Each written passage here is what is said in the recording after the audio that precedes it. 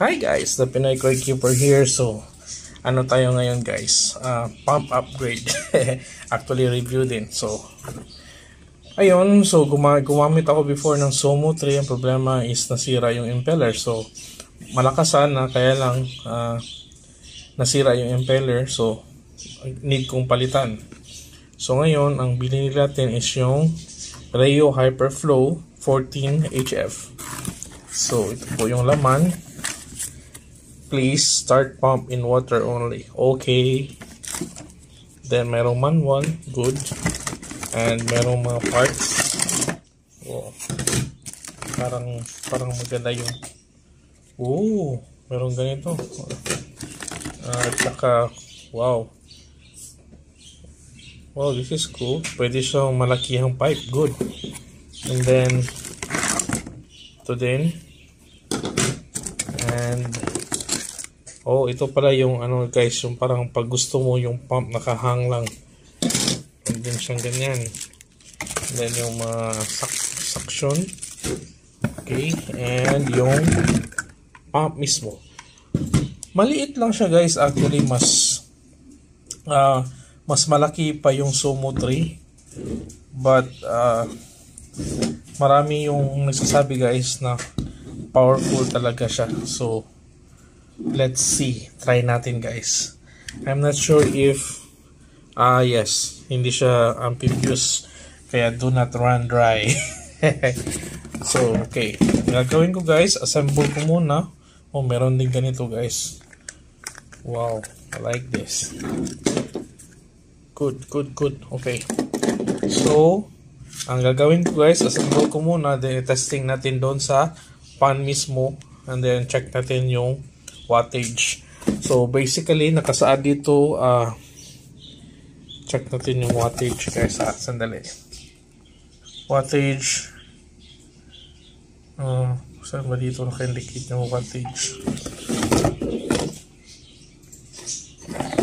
Hindi makita.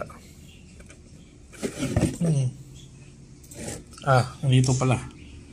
There. So, 840 gallons per hour or 3,190 liters 45 watts. So check natin. So assemble ko muna. So ayan na guys.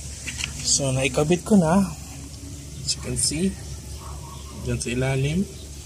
And then ito yung uh, watt reader natin. So i-test natin guys kung gaano kalakas ang pump na ito at ano yung uh, exact power usage na. So here I go. Plug ko na. Tara let's.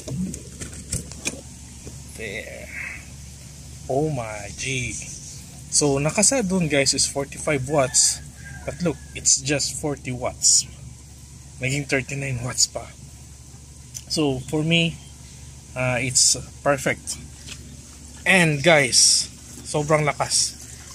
Napuno niya agad yung radial natin. And in fact, lumalabas.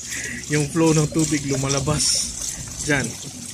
So, malakas siya talaga. I'm impressed.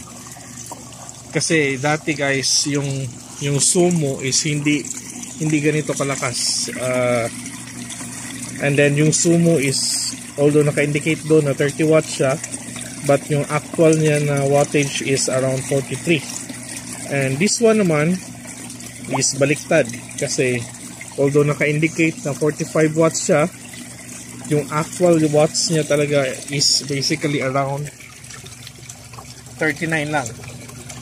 There. And look guys. Ganyan kabilis. I mean ganyan kalakas yung tubig. Double uh, double siya sa yung flow rate niya is double sa Somo.